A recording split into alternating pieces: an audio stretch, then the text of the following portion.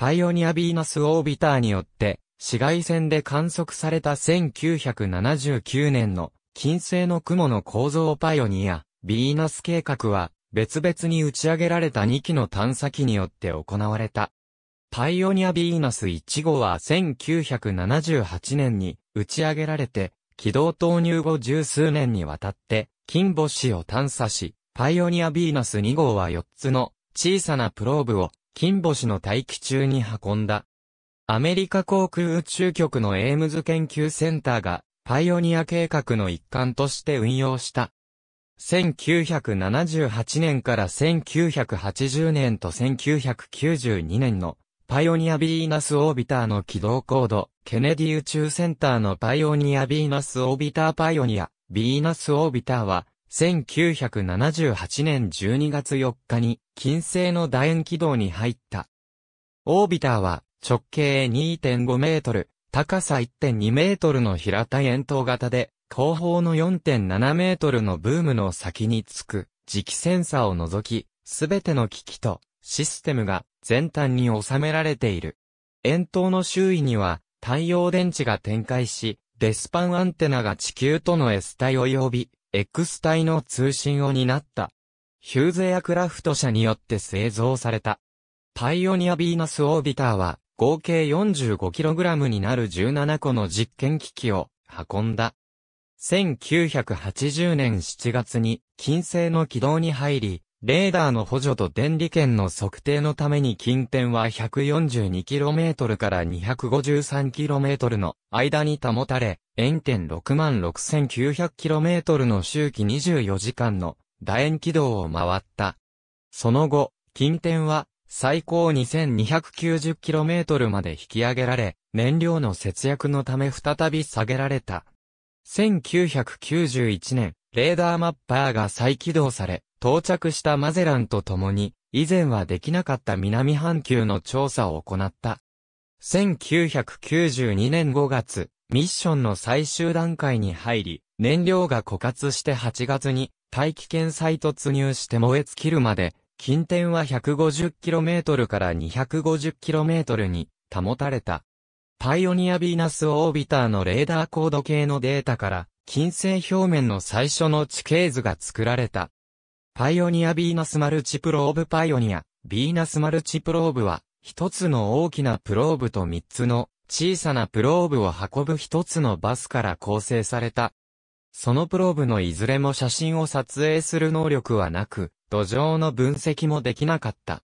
また、ソフトランディングさえできず、地上で活動できれば、幸運と考えられていた。大きなプローブのパラシュートは、ある程度の高度で、切り離されるように設計してあり、小さなプローブにはパラシュートもなかった。大気圏に突入したすべてのプローブは少なくとも衝突の瞬間までは金星の厚い大気の中で機能していたが、衝突後もかなりの時間、機能を保ったのは一つだけであった。大きなプローブは1978年11月16日、3つの小さなプローブは11月20日に放出された。4つとも12月9日に、バスに続いて、金星の大気圏に突入した。パイオニアビーナスバスは、浅い侵入角度で、金星の大気圏に突入し、突入に伴う熱で破壊されるまでデータを伝送した。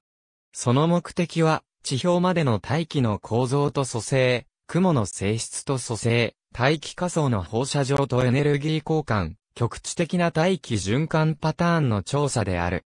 バスは直径2.5メートルの円筒型で重さは 290kg であり、プローブが大気仮想で減速するまで測定を行わなかったため、金星の大気上層の様子を唯一直接見せてくれた。